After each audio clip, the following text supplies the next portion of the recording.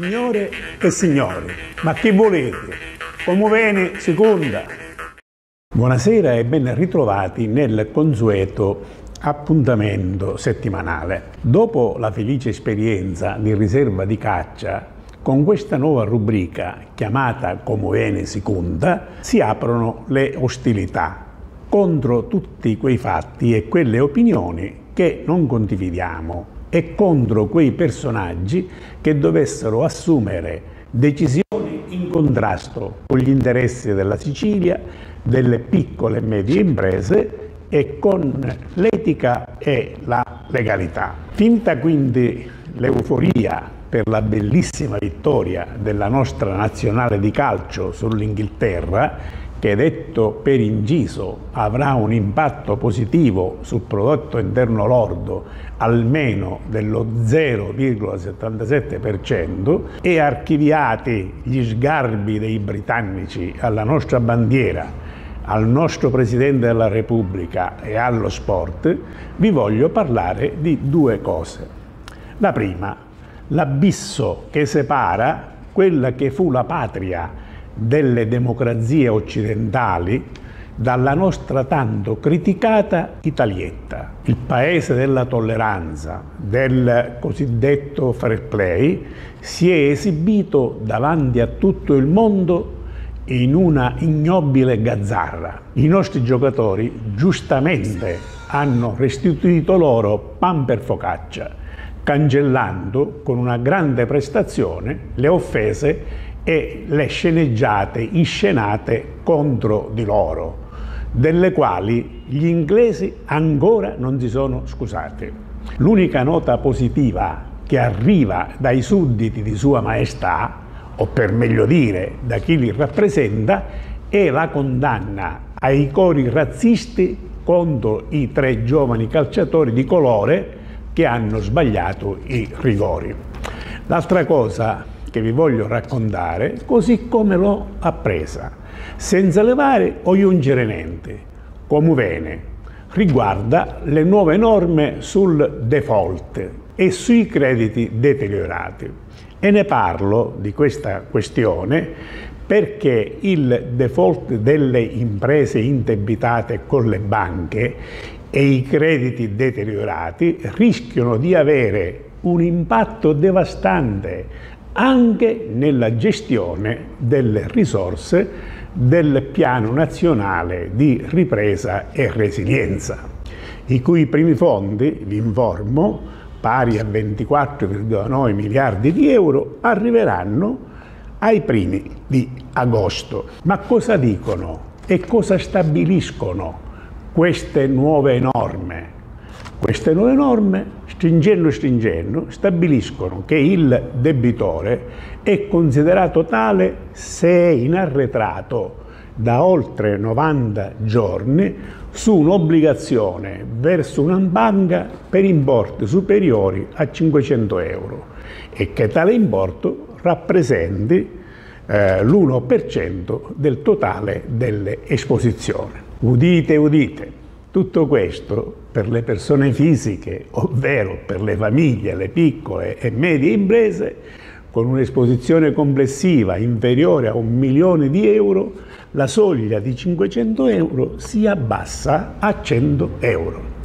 Tutto questo, detto in termini ancora più semplici, significa che un'azienda, una piccola e media impresa, una famiglia, che hanno arretrati di pagamento verso la banca di 500 o 100 euro viene dichiarata inadempiente e segnalata alla centrale rischio di Banca Italia. Le conseguenze di un'eventuale segnalazione saranno quelle che i soggetti anzidetti possono scrivere, lo dico chiaro e tondo, carne di porco alla possibilità di ottenere un prestito o un finanziamento da parte di una banca. Tutto questo viene complicato ulteriormente con il divieto di compensare le esposizioni in sofferenza con i margini disponibili su altre linee di credito accordato allo stesso debitore. Ma poiché, come si dice, i guai quasi sempre non arrivano da soli, Ecco che viene introdotto con il cosiddetto calendar provisioning l'obbligo per le banche di svalutare integralmente i crediti deteriorati con le scadenze prestabilite, il che significa che le banche dovranno prevedere dei livelli minimi di, di accantonamento prudenziale per ogni singola esposizione deteriorata e la quota dell'esposizione coperta da accantonamento dovrebbe via via aumentare nel tempo, a prescindere dal motivo per cui il credito si è deteriorato. La svalutazione totale dei cosiddetti PNL, vale a dire dei crediti deteriorati, deve essere fatta in 3, 7 o 9 anni, a seconda se il credito deteriorato sia di tipo pirografario, garantito o garantito da immobile. Un credito quindi con garanzia reale dopo nove anni non vale più niente secondo l'EBA, l'autorità bancaria europea. E questo, diciamolo chiaramente, rappresenta una tagliola, una vera e propria trappola per le stesse banche. Ma quali saranno, vi chiederete, le conseguenze di queste nuove norme le conseguenze di queste nuove norme saranno, da un lato, una restrizione dei criteri di concessione del credito. Questo perché la banca farà questo tipo di ragionamento. Se ho poco tempo per la svalutazione dei crediti, dovrò stare molto attento quando delibero un finanziamento.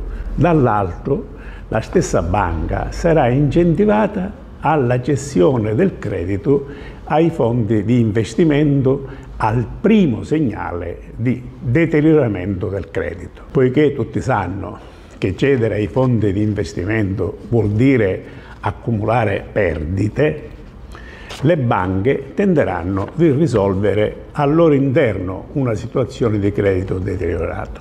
Ma perché tutto questo deve preoccupare imprese e famiglie? Deve preoccupare le imprese e le famiglie non solo perché sono solo il 35% le imprese che nel terzo trimestre 2020 sono risultati in regola con i tempi di pagamento, ma anche perché il valore dei crediti deteriorati previsto alla fine del 2020 sarà di 300 miliardi di euro.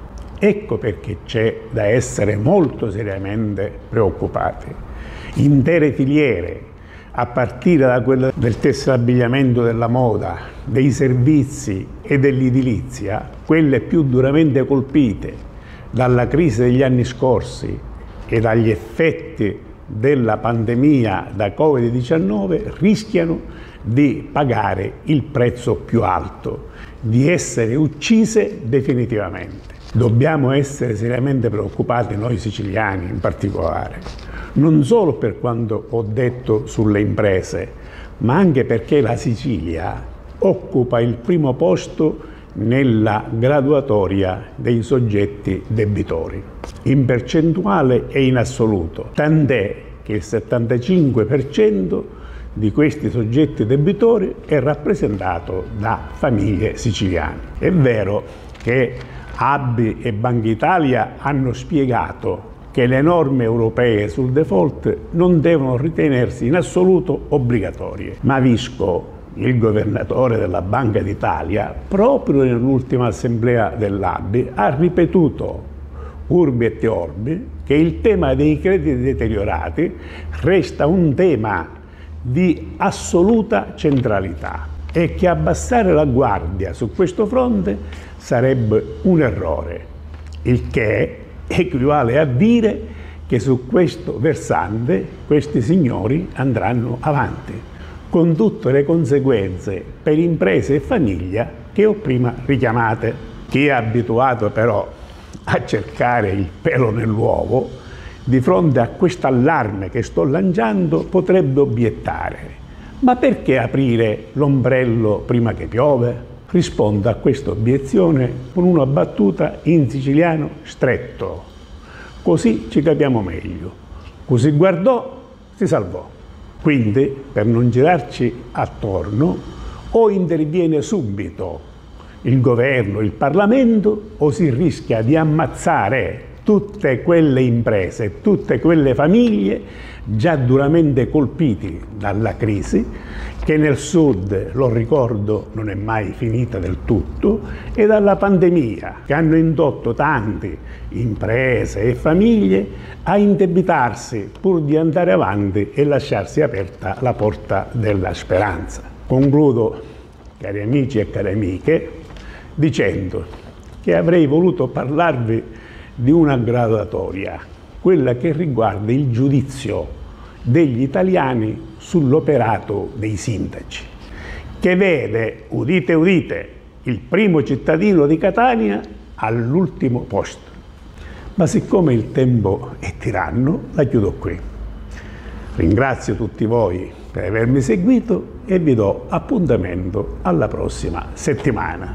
Naturalmente la prossima settimana non potrò fare altro che parlarvi di questa benedetta o maledetta graduatoria. Grazie e buona serata a tutti.